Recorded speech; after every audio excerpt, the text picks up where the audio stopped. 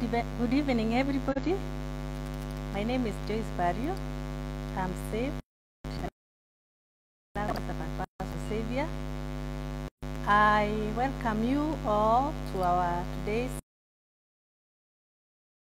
at MCK Kawangware Church.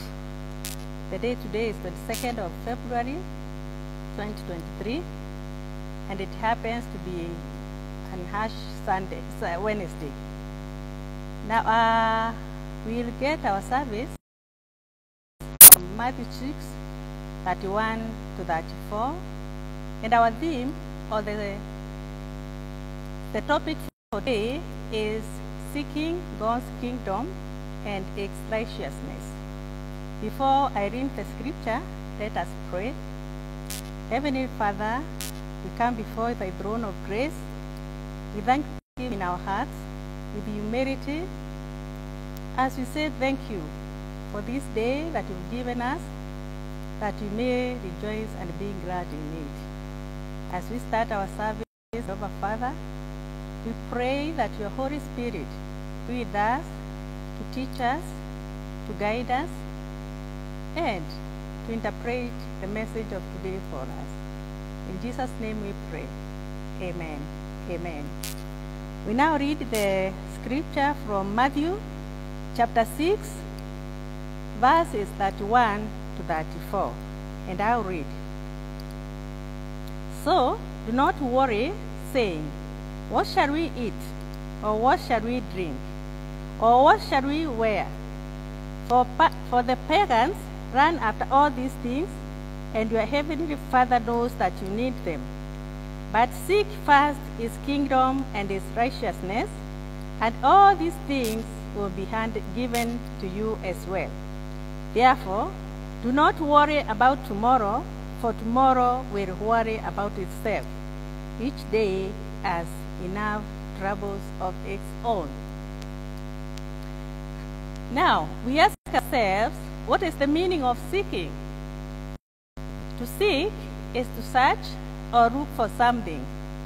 And you only search or look for something which is not displayed or something which is hidden. It is also to try and discover something. But seeking the kingdom of God, is it lost or is it hidden? And what is the kingdom of God and where is it? These are questions we need to answer as we reflect on this scripture. Now, when God created man in his own image, he kept him in a very nice garden of Eden where he was provided with everything and was given dominion over everything. Man and God had a special bond, and they would communicate directly to each other. God had instructed man on what to do and what not to do, what to eat and what not to. Until curiosity got the better of the woman that God had made for the man to help him, as she agreed to be lied to by Satan to the extent of disobeying God. And in the process, she dragged the man into the same disobedience. God was, of course, not pleased with this. How could he? You have told somebody, don't do this, do this, and then go ahead and do opposite of what you have said. You cannot be pleased by that. So, through this disobedience and resultant sin, man had fallen, and the bond between him and God was terribly severed. Can read all that in Genesis chapter 3. But still, they were given a chance to multiply and fill the earth, albeit with severe conditions, and which they did. Their offsprings, even many generations after, kept on disobeying, sinning, falling, ah, all, all the time. But God was not done with man yet. He kept on disciplining them, punishing them when need be, but at the same time, trying to restore them back to where He wanted them to be. He loved them and would not let. It is the same way we as parents keep on disciplining our children and doing everything possible to bring them back home, even when they stray. And this went on and on for long, with man being as undermanned as ever, until God decided to come down to them. Through, this did through his only Son, Jesus Christ,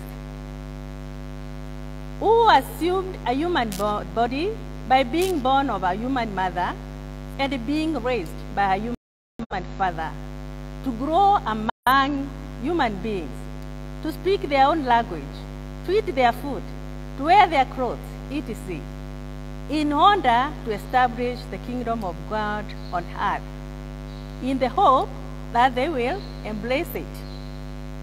In Mark chapter 15, Jesus says, and I quote, The time has come, the kingdom of God is near. Repent and believe the good news. End of quote. Now, when the Pharisees asked him when the kingdom of God would come, in the, in the book of, or in the Gospel of Luke, chapter 17, verse 20 to 21, he says that the kingdom of God does not come with careful observation, nor will people say, There it is, here it is, or there it is, because the kingdom of God was with them. The mission of Jesus on earth was to tell people in their own language and environment about the kingdom of God and to bring the kingdom of God to them. Of course, most people never believed him, but there are those who recognized him as the Son of God, and they really wanted to have him and keep him with them. But in the book of Luke, chapter 4, verse 43, Jesus told them, and I quote, I must preach the good news of the kingdom of God to the other towns because that is why I was sent. Of quote. And then in verse 44 of the same, the Bible says, And he kept on preaching in the towns, in the synagogues of Judea. In Luke chapter 11, verse 20, Jesus demonstrates that he was using God's power to do miracles, hence bringing the kingdom of God near to the people. Even when he was commissioning his disciples, he told them to remind all those they met about the kingdom of God being near to them. That is in Luke chapter 10, verse 9. Now remember, several prophets had prophesied about this coming of Jesus Christ to bring the kingdom of God to people. Prophet Isaiah in Isaiah chapter 9, verse 6. This is what he had to say. For to us a child is born, to us a son is given, and the government will be on his shoulder, and he will be called Wonderful Counselor, Mighty God, Everlasting Prince of Peace. The more Jesus stayed with the people, the more he realized that they were still far from grasping the mystery of this kingdom. He had taught them the ways of living right in the godly kingdom. What was expected of them? All they needed to know that is from how to pray, how to store wealth in heaven, how to care for others, how to not to judge, not to worry, name them. All that he took them through, he taught them. Still, they were the same people, and only a few seemed to understand and appreciate this kingdom, or the, the, the, the kingdom of God and what it entails. In the end, they even rejected him and even killed him. But Jesus, being God, knew that he was not to remain with these people. After all, they had such little faith. So he knew he was not to remain with them forever and that he was to give himself up as the ultimate sacrifice to atone for their sin. And this was what this was to be done purely out of love for mankind. Despite their disobedience, despite their sinful nature, God still loved them. That he was ready to sacrifice his only son. In John chapter 3, verse 16, this is a verse that almost everybody has ever memorized. It says, For God so loved the world that he gave his only Son, that whoever believes in him shall not perish but have eternal life. Right now, we are approaching Easter, a time that we remember all this, what happened on the cross. One of the things Jesus realized, even as he was staying close to people, is that people concentrate more and put a lot of focus and emphasis on worldly material possessions, forgetting that God was their Father and was capable of providing all that they needed.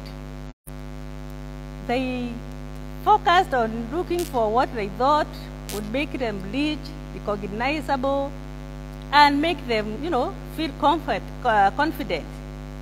They forgot that all these things come from God.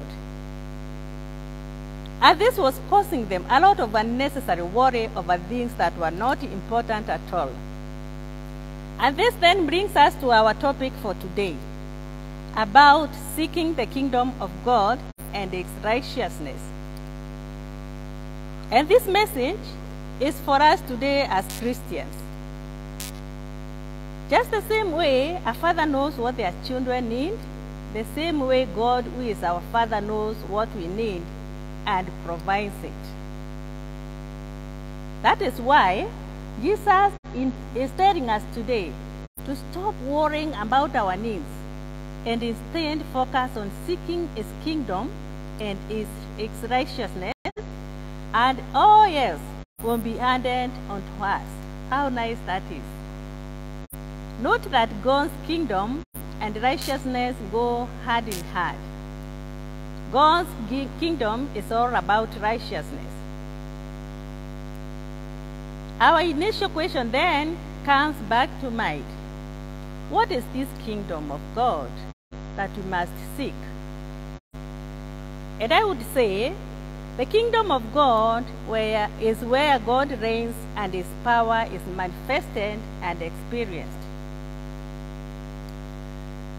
And what kind of kingdom is this? Considering God is no longer physically visible to us. Again, I would say it is a spiritual kingdom and not an earthly one. We can also say it is the eternal kingdom prophesied in the Old Testament and revealed in the New Testament.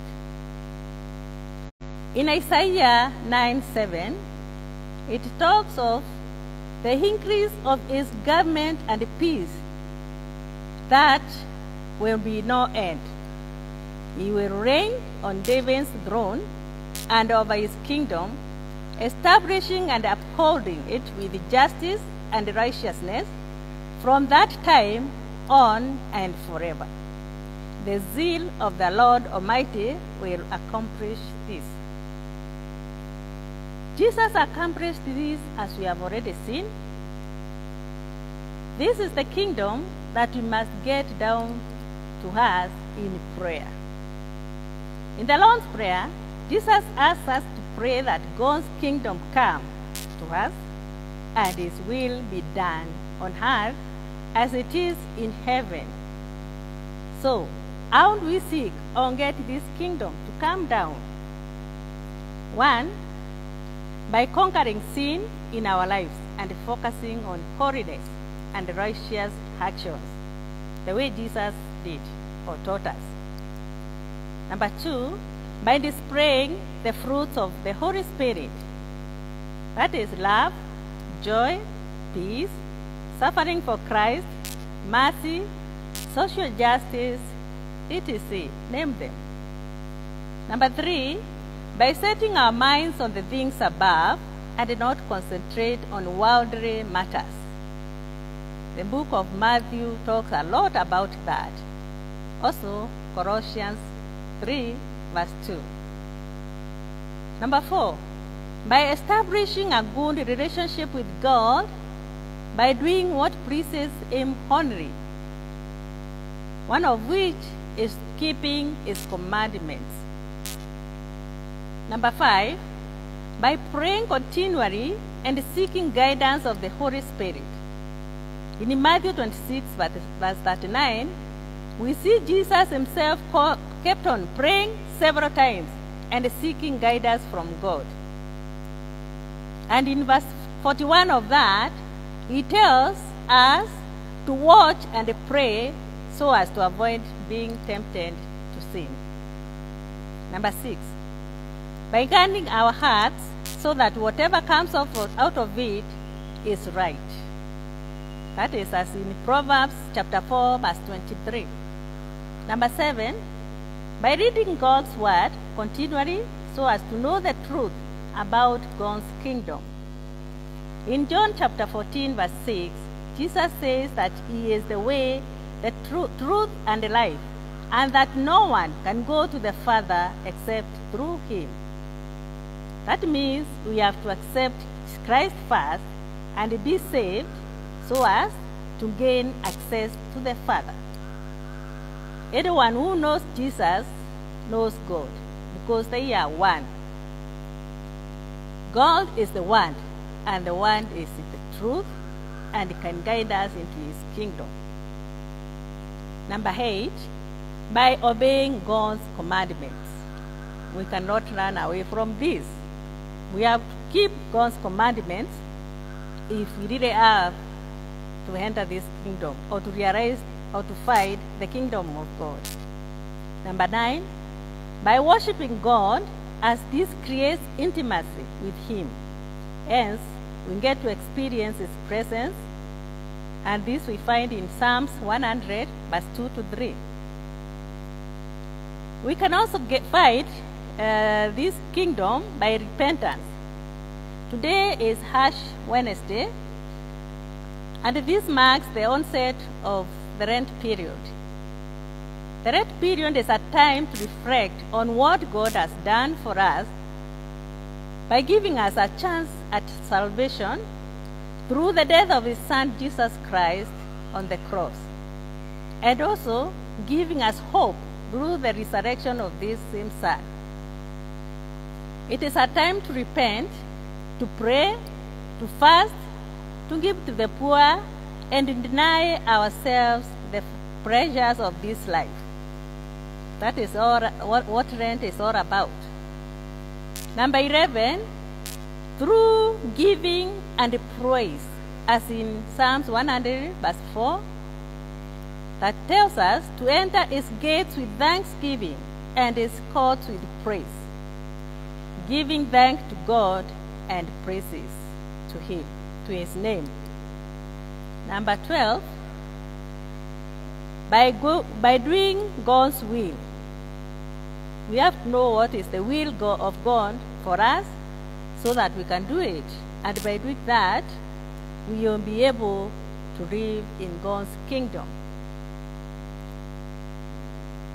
Then we may ask, uh, uh, who qualifies for God's kingdom? Yes, we will all seek the kingdom, we will seek righteousness, but at what point do we qualify for it?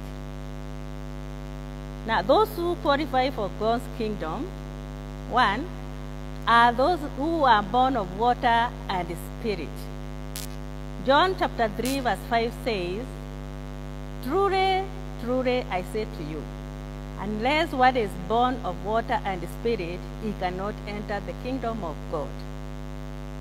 Number two, those who are like little children. You know, little children are always innocent, they are trusting, they are obedient.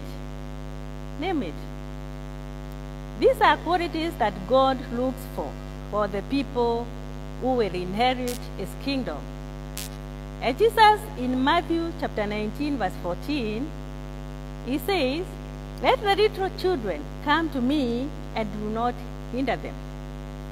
For the kingdom of heaven belongs to such as this. Mark the ones such as this. Meaning, anybody who has the characteristics of an innocent child is the one who will enter the kingdom of God. Three, those who are poor in spirit. In one of the Beatitudes of Jesus, he says, Blessed are the poor in spirit, for theirs is the kingdom of heaven. That is Matthew 5, verse 3. When you are poor in a whatever way, you go looking for what you don't have. If you are poor in spirit, you will pursue spiritual wealth and knowledge. And in the process, you will find God and His kingdom. Number four, those who are those who are pure in heart. In Matthew chapter 5, verse 8, another beatitude, Jesus says, Blessed are the poor in heart, for they sorry, blessed are the pure in heart, for they will see God. Meaning, they will have access to God's kingdom. Otherwise, how else can they see Him unless they have access to where He dwells? A pure heart means it is full of righteousness. Number six, those who do not worship the worldly wealth, because those who do will not enter the kingdom of God. In Mark chapter 10, 25, it says that it is easier for a camel to go through the eye of a needle than for a rich man to enter the kingdom of God. Imagine that. A camel going through a needle. The eye of a needle, small as it is. That means how difficult it is for a rich man to enter the kingdom of God. And mark you, there is nothing wrong with being rich if it is God given as blessings. If your wealth is given by God as blessings, then you, there is nothing wrong with that. But if it is the one which will make you lose focus on God, the one which will make you look, look down on others, the one that will make you become arrogant and worship it, then you and the kingdom of God will be total strangers one another. Trust me. Brothers and sisters in Christ, let us seek this kingdom of God and its righteousness. And God, who knows all our other needs, will automatically provide for us. We need not worry over small, small things like food, clothing, shelter, etc. Because our God knows we need them and He is ready to provide for them. Let us seek His kingdom through repenting our sins as do, and doing what is expected of us. Let us follow what Jesus has taught us. And as we go into this Lent and Easter period, let us focus more on godly things. In the name of God the Father, Son, and the Holy Spirit. Amen. Amen. Let us pray. Father, we come to you once again, thanking you for this chance you have given us to hear your word. Father Almighty, we don't take it for granted that we can stand here and peacefully share your word. My prayer, Lord, this evening is that whoever has come across this message won't be uplifted, won't be reminded, won't be rebuked, won't be taught about the ways of seeking the kingdom, your kingdom, and its righteousness, and that, Lord, you are the provider of any other need. Lord, help us not to worry about unimportant things because they all come from you. In Jesus' name we pray. Amen.